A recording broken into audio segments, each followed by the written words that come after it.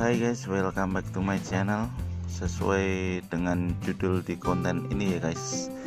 Mode gelap resmi hadir di WhatsApp Android dan iOS.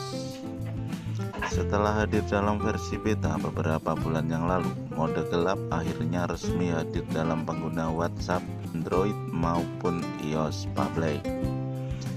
Fitur ini adalah salah satu yang paling banyak ditunggu-tunggu pengguna WhatsApp mengingat tren mode gelap di sejumlah aplikasi. Dalam blog resminya, WhatsApp mengatakan mode gelap bertujuan untuk mengurangi ketegangan mata di lingkungan dengan cahaya rendah.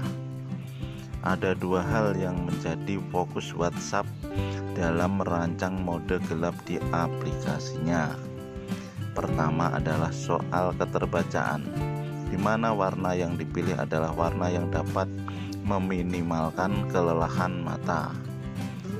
Warna gelap di WhatsApp juga disebut mendekati tema gelap yang ada di sistem default Android dan iOS. Kedua adalah soal hierarki informasi yang akan memudahkan pengguna untuk melihat informasi yang paling mencolok seperti adanya gelembung notifikasi berwarna hijau terang pada pesan baru. Kami melakukan hal ini dengan menggunakan warna yang elemen desain untuk memastikan informasi yang paling penting terlihat mencolok. Tulis WhatsApp dalam blog resminya. Ya guys, ndak usah lama-lama lagi kita langsung setting bagaimana caranya untuk mengubah warna terang di WhatsApp yang biasanya kan putih. Sekarang kita ubah menjadi warna gelap guys. Ya pertama-tama kita harus memperbarui aplikasi WhatsApp yang baru ya guys. Karena saya sudah menginstal WhatsApp yang baru.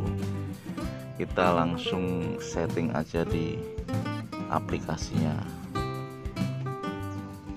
Kita masuk ke WhatsApp kita tekan ya titik tiga kanan atas. Kita tekan lagi setelan. Dan kita tekan lagi yang ini guys yang cat. Lalu ini ada tulisan tema kita tekan aja.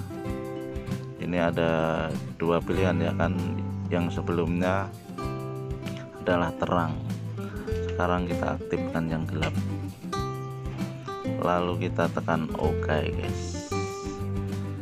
Nah sekarang tema dari WhatsApp ini sudah menjadi gelap guys. Kita lihat menunya. Ini gelap semuanya. Nah ini sangat mudah sekali kan guys